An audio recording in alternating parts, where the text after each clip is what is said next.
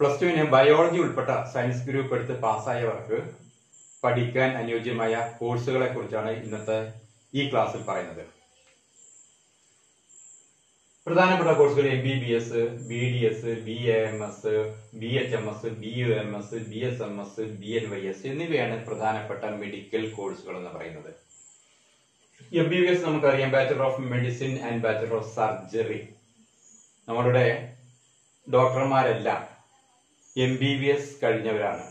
നമ്മുടെ അലോപ്പതി ഡോക്ടർമാരെല്ലാം M B B S കഴിഞ്ഞവരാണ്. എം ബി ബി എസിന് ശേഷം ഉന്നത വിദ്യാഭ്യാസം നേടിയവരാണ് അവരെല്ലാവരും. അടിസ്ഥാനപരമായിട്ടുള്ള ഒരു യോഗ്യതയാണ് എം ബി ബി എസ് എന്ന് പറയുന്നത്. അതിനുശേഷം സ്പെഷ്യലൈസ് ചെയ്ത് എം ഡിയോ അതുപോലുള്ള മറ്റു പോസ്റ്റ് ഗ്രാജുവേറ്റ് കോഴ്സുകളോ ഒക്കെ അവർ കംപ്ലീറ്റ് ചെയ്യുന്നു. രണ്ടാമത്തേത് ബി ഡി എസ് ആണ് ബാച്ചുലർ ഓഫ് ഡെന്റൽ സർജറി നമുക്കറിയാം നമ്മുടെ ദന്ത ഡോക്ടർമാർ. അവരുടെ അടിസ്ഥാന യോഗ്യത എന്ന് പറയുന്നത് തന്നെ ബി ഡി എസ് ആണ്. അതിന്റെ ഉയർന്ന വിദ്യാഭ്യാസ യോഗ്യതകളുടെ ബി ഡി എസ് കഴിഞ്ഞവരാണ് പിന്നെ എം ഡി എസിനും മറ്റും പോകുന്നത്. പിന്നെ മൂന്നാമതായുള്ള B I M S bachelor of ayurvedic medicine and surgery നമ്മുടെ കേരളത്തിൽ ആയുർവേദ ഡോക്ടർമാർ ധാരാളമുണ്ട്. ആയുർവേദത്തിന്റെ കേന്ദ്രമാണ് കേരളം എന്ന് പറയാം. അപ്പൊ അതുകൊണ്ട് തന്നെ കേരളത്തെ സംബന്ധിച്ചിടത്തോളം ഈ B I M S course എന്ന് പറയുന്നത് bachelor of ayurvedic medicine and surgery എന്ന് പറയുന്ന കേരളത്തെ സംബന്ധിച്ചിടത്തോളം വളരെ പ്രധാനപ്പെട്ട ഒരു കോഴ്സ് തന്നെയാണ്. പിന്നെ അടുത്തതായിട്ട് B H M S bachelor of homeopathic medicine and surgery നമുക്കറിയാം ധാരാളം ഹോമിയോ ഡോക്ടർമാർ നമ്മുടെ ചുറ്റുപാടുമുണ്ട്. പ്രത്യേകിച്ച് ചെറിയ കുട്ടികൾക്കും ഒക്കെ ഉള്ള നല്ല ഒന്നാന്തരം ചികിത്സ ലഭിക്കുന്ന ഒരു മെഡിക്കൽ സയൻസ് കൂടിയാണ് വാസ്തവത്തിൽ ബി എച്ച് എം എസ് എന്ന് പറയുന്നത്. അപ്പോ അപ്പോ ബി എച്ച് എം എസിന്റെ സാധ്യതയെ കുറിച്ച് നമ്മൾ കൂടുതൽ ചർച്ച ചെയ്യേണ്ടതില്ല. നമുക്ക് എല്ലാവർക്കും അറിയാവുന്നതാണ്. പിന്നെ നമുക്ക് അധികം കേട്ടുപരിചയമില്ലാത്ത ഒന്നാണ് B U M S bachelor of Unani medicine and surgery എങ്കിലും യുനാനി വൈദ്യത്തെ കുറിച്ച് കേരളീയർക്ക് പറഞ്ഞു കൊടുക്കേണ്ടതില്ല. നമ്മുടെ നാട്ടിൽ വർഷങ്ങൾക്ക് മുമ്പ് തൊട്ട് തന്നെ ധാരാളം ഹക്കീമുമാർ പ്രാക്ടീസ് ചെയ്തുകൊണ്ടിരുന്നു. അവർക്ക് ഈ ഒരു ഡിഗ്രി ഉള്ളവരായിരുന്നില്ല. മറിച്ച് അവർ പരമ്പരാഗതമായിട്ട് ലഭിച്ച അറിവുകൾ വെച്ചോ അതല്ലെങ്കിൽ ചെറിയ സർട്ടിഫിക്കറ്റ് കോഴ്സുകൾ ചെയ്ത് ഡോക്ടർമാർ അല്ലെങ്കിൽ ഹക്കീമുമാർ ആയവരായിരുന്നു അവരെല്ലാവരും. ഇന്നത്തെ ഡിഗ്രി തലത്തിൽ അതിനുള്ള കോഴ്സാണ് എന്ത്? B U M S bachelor of Unani medicine and surgery നമ്മുടെ കേരളത്തിലും യുനാനി മെഡിക്കൽ കോളേജ് കോഴിക്കോട്ട് പ്രവർത്തനം തുടങ്ങിയിട്ടുണ്ട്. പിന്നെ ഒന്നാണ് നമുക്ക് കേരളീയർക്ക് അധികം പരിചയമില്ലാത്ത രണ്ട് കോഴ്സുകളാണ് ബി എസ് എം എസും ബി എൻ വൈ എസും എന്താണ് B S M S bachelor of Siddha medicine and surgery Siddha medicine കേരളത്തിൽ ഇല്ല എങ്കിലും നമ്മുടെ തൊട്ടടുത്ത സംസ്ഥാനമായ തമിഴ്നാടാണ് വാസ്തവത്തിൽ സിദ്ധ മെഡിസിന്റെ കേന്ദ്രം എന്ന് പറയാൻ പറയപ്പെടാവുന്നത്. അവിടെ തന്നെ ധാരാളം മെഡിക്കൽ കോളേജുകളുണ്ട്. സിദ്ധ മെഡിക്കൽ കോളേജുകളുണ്ട്. ചെന്നൈ കോയമ്പത്തൂര് കന്യാകുമാരി സേലം എന്നിവിടങ്ങളിൽ സിദ്ധ മെഡിക്കൽ കോളേജുകളുണ്ട്.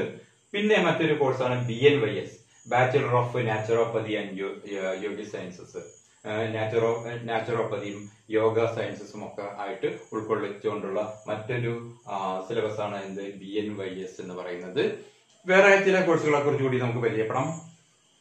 ഒന്നാണ് B V S C and A H bachelor of veterinary science and animal husbandry B pharma bachelor of pharmacy B P T bachelor of physiotherapy പിന്നെ bachelor in audiology and speech language pathology എന്താണ് B V S C and A H bachelor of veterinary veterinary science and animal husbandry നമ്മുടെ മൃഗ ഡോക്ടർമാർ മൃഗ doctor ആവാൻ ഉള്ള അടിസ്ഥാന യോഗ്യതയാണ് B B S C and A H മറ്റൊന്ന് ബി ഫാം എന്ന് നമ്മൾ പറയപ്പെടുന്ന. നമ്മൾ ബി ഫാം എന്ന് പറയപ്പെടുന്ന B pharma bachelor of pharmacy നമുക്കറിയാം എല്ലാ ഹോസ്പിറ്റലിലും എന്ത് ഫാർമസിസ്റ്റുകളായിട്ട് മുഖ്യ ഏറ്റവും ഉയർന്ന നിലയിൽ ഇരിക്കുന്നവർ അല്ലെങ്കിൽ ഫാർമസിസ്റ്റുകൾ കുറെ ഫാർമസിസ്റ്റുകൾ ഉണ്ടെങ്കിൽ അവരിൽ ഒരാൾ നിർബന്ധമായിട്ട് ആര് വേണം? ഒരു ബി ഫാം കാരനായിരിക്കണം അല്ലെങ്കിൽ ബി ഫാം കാരി ആയിരിക്കണം ആണ് ബാച്ചലർ ഓഫ് ഫാർമസി എന്ന് പറയുന്നത്. പിന്നെ B P T bachelor of physiotherapy physiotherapy എന്താണെന്ന് നമുക്കറിയാം. എന്തെങ്കിലും ഒടിവും ചതവും ഒക്കെ ആയിട്ട് പറ്റിയിട്ട് ശരീരം അനങ്ങാതെ ബാൻഡേജ് ഇട്ടതിന് ശേഷം പിന്നെ ഇട്ടതിന് ശേഷം പിന്നീട് അത് ലെവലാക്കാൻ വേണ്ടിയിട്ട് പ്രത്യേക എക്സർസൈസുകളും ഒക്കെ കൊടുക്കാൻ പ്രാപ്തരാക്കുന്ന തരത്തിലുള്ള കോഴ്സാണ് അത് ബാച്ചലർ ഓഫ് ഫിസിയോതെറാപ്പി എന്ന് പറയുന്നത്. പിന്നെ bachelor in audiology and speech language pathology bachelor in audiology and speech language pathology ഇതെന്താണെന്ന് വെച്ചാൽ ഈ ശ്രവണ വൈകല്യവും അതുപോലെ തന്നെ സംസാര വൈകല്യവും ഒക്കെയുള്ള ആളുകൾക്ക് പ്രത്യേകിച്ച് കുട്ടികൾക്ക് അവരുടെ സംസാര വൈകല്യങ്ങൾ മാറ്റാനുള്ള അവരുടേതായ കേൾവിക്കുറവും അതുപോലെ തന്നെ മറ്റ് വൈകല്യങ്ങളും മാറ്റാനുള്ള തരത്തിലുള്ള ഒരു കോഴ്സാണ് വാസ്തവത്തിൽ ഇന്ന് bachelor in audiology and speech language pathology എന്നറിയപ്പെടുന്നത്. മറ്റു ചില കോഴ്സുകൾ B S C nursing B A B M L T അല്ലെങ്കിൽ B S C M L T പിന്നെ perfusion technology bachelor of cardiovascular technology B S C cardiac technology ഇങ്ങനെയുള്ള കുറച്ച് കോഴ്സുകളും ഈ മെഡിക്കൽ രംഗത്തുണ്ട് നമുക്കറിയാം എന്താണ് ബി എസ് സി നഴ്സിംഗ് എന്താന്ന് പറഞ്ഞാൽ അറിയാത്തവരാരുമില്ല. നമ്മുടെ നഴ്സുമാർ അല്ലെ? ഹെഡ് നഴ്സുമാരെല്ലാം ആരാണ്? ബി എസ് സി നഴ്സിംഗ് കഴിഞ്ഞവരായിരിക്കും. പിന്നെ B M L T bachelor of medical laboratory technician course കഴിഞ്ഞവരാണ് വാസ്തവത്തിൽ എന്ത്? ബി എം എൽ ടിക്കാർ അതിന്റെ തന്നെ B S C M L T എന്ന് പറഞ്ഞ ഡിഗ്രിയും ഉണ്ട്. അതിനെ bachelor of science M L T medical laboratory technician പിന്നെ ഈ നമ്മുടെ കാർഡിയാക് യൂണിറ്റുകളുമായി ബന്ധപ്പെട്ട ജോലി സാധ്യത കൂടിയുള്ള മൂന്ന് കോഴ്സുകളാണ് അടുത്ത് പറയാൻ പെടുന്നത് ഒന്ന് പെർഫ്യൂഷൻ ടെക്നോളജി കാർഡിയാക് സംബന്ധമായ ഹൃദയ സംബന്ധമായ രോഗികൾക്ക് വേണ്ട മിഷനറികൾ പ്രവർത്തിപ്പിക്കുന്നവരാണ് വാസ്തവത്തിൽ അതിനുള്ള അതിനുള്ള പഠനമാണ് വാസ്തവത്തിൽ പെർഫ്യൂഷൻ ടെക്നോളജി എന്ന പേരിൽ അറിയപ്പെടുന്നത്. ഡോക്ടർമാർ കാർഡിയാക് യൂണിറ്റുകളിൽ ഡോക്ടർമാരോട് കൂടി ചേർന്ന് നിന്നുകൊണ്ട് അതിന് അതിനുവേണ്ട ടെസ്റ്റ് ചെയ്ത് കൊടുക്കുന്നവരാണ് ഈ പെർഫ്യൂഷനിസ്റ്റുകൾ എന്ന് പറയുന്നവര്. പിന്നെ ബാച്ചലർ ഓഫ് കാർഡിയോവാസ്കുലർ ടെക്നോളജി അതുപോലെ B S C cardiac technology ഇതൊക്കെ ഹൃദയ സംബന്ധമായ ആ, കാര്യങ്ങളെ കുറിച്ച് പഠിച്ചവരും അതുപോലെ തന്നെ ഡോക്ടേഴ്സിനെ അസിസ്റ്റ് ചെയ്യുന്നു കാർഡിയാക് യൂണിറ്റുകളിൽ ഡോക്ടേഴ്സിനെ അസിസ്റ്റ് ചെയ്യുന്നവരുമാണ് ഇവരൊക്കെ. അതുപോലെ വേറെ വേറെ പ്രതി- വേറെ ചില കോഴ്സുകളാണ്. B S C renal dialysis technology ഇതൊക്കെ ഡിഗ്രി കോഴ്സുകളാണ്.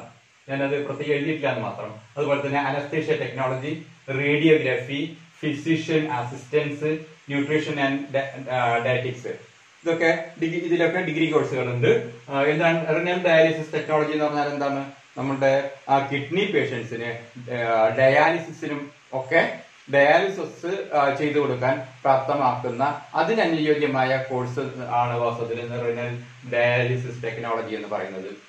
അനസ്തേഷ്യ ടെക്നോളജി നമുക്കറിയാം ഓപ്പറേഷൻ തിയേറ്ററുകളിൽ രോഗികൾക്ക് അനസ്തേഷ്യ കൊടുക്കാൻ ഡോക്ടേഴ്സിനോടുകൂടി സഹകരിച്ചു നിൽക്കാൻ നിന്നുകൊണ്ട് അനസ്തേഷ്യ കൊടുക്കുന്നതിൽ സഹായിക്കുന്നവരാണ് ആര്? Anaesthesia technology പഠിച്ചവര്.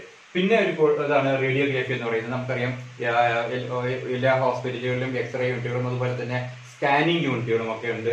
അപ്പോൾ ആ യന്ത്രങ്ങൾ പ്രവർത്തിക്കാൻ അറിയാവുന്ന അതിന്റെ ടെക്നോളജിയാണ് ഹോസ്പിറ്റൽ റേഡിയോഗ്രാഫി എന്ന് പറയുന്നത്. പിന്നെ ഫിസിഷ്യൻ അസിസ്റ്റൻസ് നമ്മുടെ ഡോക്ടേഴ്സിനെ സഹായിക്കാൻ വേണ്ടി അവരുടെ കൂടെ നിന്നുകൊണ്ട് അവരെ സഹായിക്കാൻ ഹെൽപ്പ് ചെയ്യാൻ ഉതകുന്ന രീതിയിലുള്ള കോഴ്സാണ് വാസ്തവത്തിൽ ഫിസിഷ്യൻ അസിസ്റ്റൻസ് എന്ന് പറയുന്ന ഈ കോഴ്സ് പിന്നെ ന്യൂട്രീഷൻ ആൻഡ് ഡയറ്റിക്സ് വലിയ ഹോസ്പിറ്റലുകളിൽ ന്യൂട്രീഷൻ ആൻഡ് ഡയറ്റിക്സ് കഴിഞ്ഞവർ ഉണ്ടാവാറുണ്ട്. അവിടുത്തെ ഇൻപേഷ്യൻസിന് വേണ്ട നിർദ്ദേശങ്ങൾ കൊടുക്കുന്നവരായിരിക്കും ആ ഈ nutrition and dietetics പഠിച്ചവർ B S C agriculture B S C horticulture B S C dairy science ഇതൊക്കെ കൃഷിയുമായി കാർഷിക വൃത്തിയുമായിട്ട് ബന്ധപ്പെട്ട പഠനങ്ങളാണ്. ബി എസ് സി അഗ്രികൾച്ചർ എന്താണ് നമുക്കറിയാം? കൃഷിയുമായിട്ട് ബന്ധപ്പെട്ട പഠനമാണ്.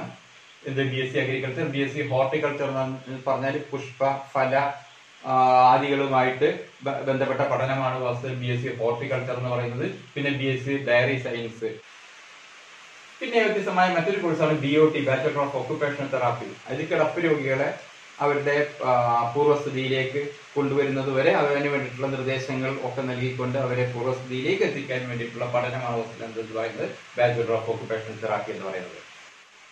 ഇനിയുള്ളത് പ്ലസ് ടു ബയോളജി എടുത്തവർക്ക് നമ്മളുടെ സാധാരണ കോളേജുകളിലുള്ള പ്രവേശനമാണ്. പ്ലസ് ടു ബയോളജി കഴിഞ്ഞ് ബയോളജി ഉൾപ്പെട്ട ഗ്രൂപ്പ് എടുത്ത് അവരെ കോളേജിലേക്ക് ചെല്ലുമ്പോൾ അവരെ കാത്തിരിക്കുന്ന കോഴ്സുകൾ എന്ന് പറയുന്നത് zoology botany geology chemistry psychology genetics home science പോലുള്ള കോഴ്സുകളാണ് മാത്രമല്ല ബയോടെക്നോളജി മൈക്രോ ബയോളജി പോലുള്ള പുതിയ കോഴ്സുകളും അവർ അവർക്ക് എടുത്തു പഠിക്കാവുന്നതാണ്.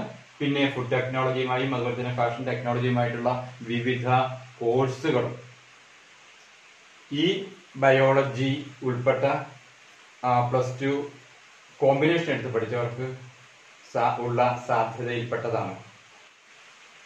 ഇന്നത്തെ ഈ അറിവ് എല്ലാവർക്കും ഉപകാരപ്പെടുമെന്ന് കരുതുന്നു. എല്ലാവരും ഈ ചാനൽ സബ്സ്ക്രൈബ് ചെയ്യുക. താങ്ക്